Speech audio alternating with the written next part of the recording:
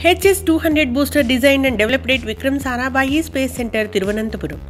The Indian Space Research Organization has successfully carried out the static test of the HS-200 solid rocket booster, taking the space agency one more step closer to the keenly awaited Gaganyaan human spaceflight mission. The test was held at the Satish Dhawan Space Center, Sriharikota on Friday morning. Designed and developed by the Vikram Sarabhai Space Center in Thiruvananthapuram over two years.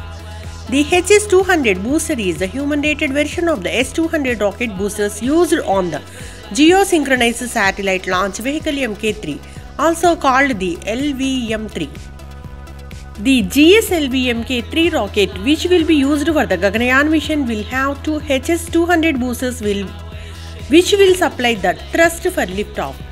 The HS200 is a 20 meter long booster with a diameter of 3.2 meters and is the world's second largest operational booster using solid propellants. During Friday's test, about 700 parameters were monitored and the performance of all the systems were normal. Loaded with 203 tons of solid propellant, the HS200 booster was tested for a duration of 135 seconds. Since Gaganyaan is crewed mission, the GSLV Mk3 will have improvements to increase reliability and safety to meet the requirements of human rating. The control system used in the HS200 booster employs one of the world's most powerful electromechanical actuators with multiple redundancy and safety features according to the VSSC. Out of the three propulsion stages of LVM3, the human rated versions of the second stage known as L110Z loaded with liquid propellant and the third stage C25Z with the cryogenic propellant are the in the final phase of qualification including tests with static firing.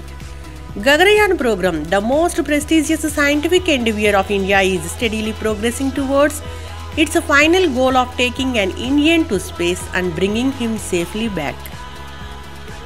The launch vehicle is fully indigenous developed by ISRO in participation with various industries spread across the country.